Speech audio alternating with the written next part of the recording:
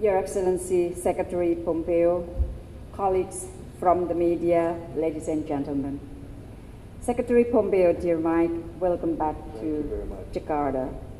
It is always an honor for me to have you back in Indonesia after your last visit two years ago. We value your visit amidst this challenging time of pandemic. It reflects your strong commitment to enhance bilateral relations with Indonesia. The US is a strategic partner for Indonesia, a partnership that is based on many shared values such as democracy, human rights, promoting tolerance and diversity, and respect for rules of law. It is a partnership between equals based on mutual respect and mutual benefit. Colleagues from the media, Secretary Pompeo and I met on an important day. Today, Muslims around the world celebrate Maulid al-Nabi Muhammad sallallahu alaihi wasallam, the birth of Prophet Muhammad. My meeting with Secretary Pompeo went very well and productive in a very transparent and cordial environment. I reiterated the principle of free and independent foreign policy in Indonesia, of Indonesia. I re-emphasized the need to pursue inclusive cooperation amidst this challenging time, and I underlined the need for every country to be part of the solution in the collective contribution toward world peace, stability, and prosperity. On bilateral side, we agreed to enhance our strategic partnership by amplifying our shared values and interests while respecting our differences. We agreed to promote cooperation on health sector. I thank the US government for the cooperation with Indonesia during the pandemic, including through provision of 1,000 ventilators. I also reiterated the importance of building national and regional health resilience as the US could play major role to support this effort. We agreed to strengthen economic cooperation, particularly to strengthen global supply chain and expedite economic recovery. In this regard, I underline again the importance of GSP facilities that not only bring benefits for Indonesia, but also for US businesses. I encourage US businesses to invest more in Indonesia, including for projects in the outer islands of Indonesia, such as in Natuna Island. On defense cooperation, our minister, Indonesian Minister of Defense, has visited the US this month and met with various US counterparts, including the US Secretary of Defense. In the meeting, they agreed to enhance defense cooperation, including by strengthening defense capabilities and military procurement to achieve minimum essential force, training and exercises, intelligence sharings, and maritime security cooperation in the region. With regard to people to people contact, we agreed to deepen mutually understanding between our two countries. And in this regard, I encourage the finalization of the Memorandum of Understanding on Education. An IRIS issue on visa for Indonesian students that has been on hold due to COVID-19 pandemic. On the regional multilateral aspect, I raised the importance of strengthening multilateralism that brings benefit to all countries. I mentioned the commitment of Indonesia and ASEAN in maintaining peace, stability, and prosperity in the region, as clearly reflected in the ASEAN Foreign Minister's statement on the 8th August 2020. For more than 50 years, ASEAN have played a very significant role in maintaining peace and stability in the region.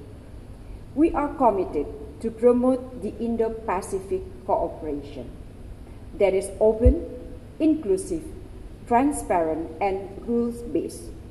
I share a number of activities we are pursuing in developing a platform to promote dialogues and cooperation under the ASEAN Outlook on the Indo Pacific. We discussed the situation in the South China Sea. For Indonesia, South China Sea should be maintained as a stable and peaceful sea.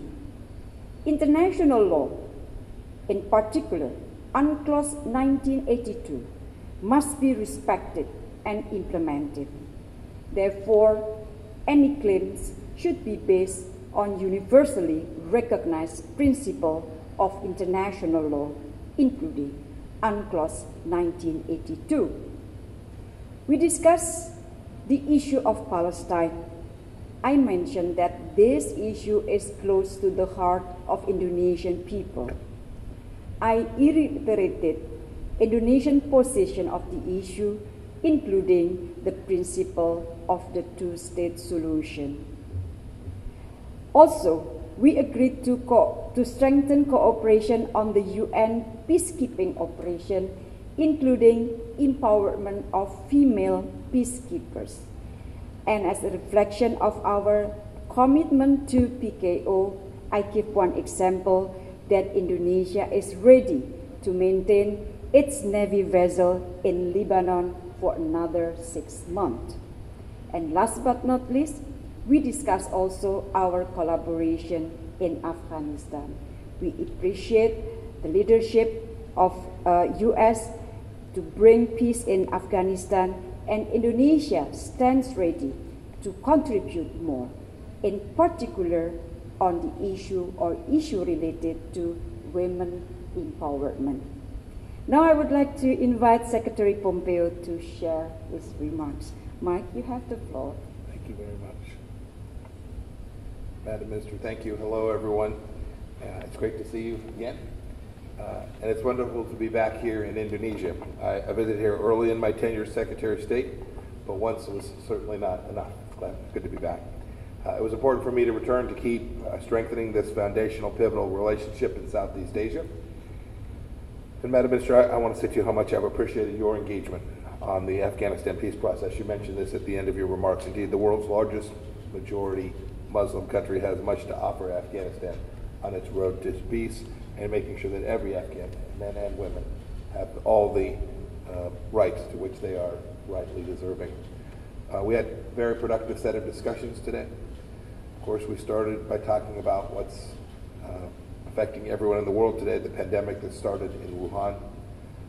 I want to assure the Indonesian people that we'll get through this difficult time together. We've been proud to provide roughly $11 million in U.S. government assistance, part of the more than $20 billion the United States has pledged around the world of public and private money for the global COVID response. This is by far the most in the world. We continue to stay very focused on this important global issue. But perhaps more importantly, uh, the American private sector is doing everything it can do to produce an effective vaccine and therapeutics to beat this terrible virus to the benefit of both of our peoples and indeed to the world. Look, it's very natural that we work together. Uh, as I'll elaborate on in my speech later today, our deeper, longer term bonds unite us as friends. We are vibrant, diverse democracies, and we honor religious freedom. We respect freedom of the seas, sovereignty, and the rule of law.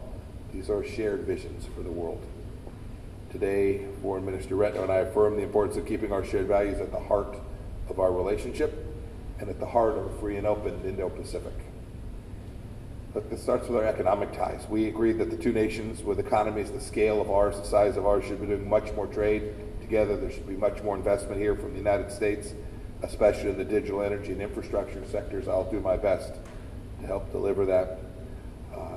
A few weeks back now, uh, the head of our Development Finance Corporation was in conversations too. We are poised to use that American tool to promote private sector investment that can support President Widodo's plans to spend $327 billion on more than 250 infrastructure projects.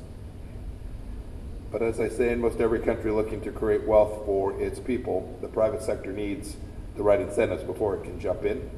Indonesia's reform agenda is helpful in this regard. We hope you'll keep taking steps to cut red tape, eliminate corruption, and increase transparency. Uh, we spent time after talking about the economy on security. Our law abiding nations reject the unlawful claims made by the Chinese Communist Party in the South China Sea, as is clear from Indonesia's courageous leadership on the subject within ASEAN and at the United Nations. It's a cause worth pursuing in multilateral settings, and the Trump administration very much supports this.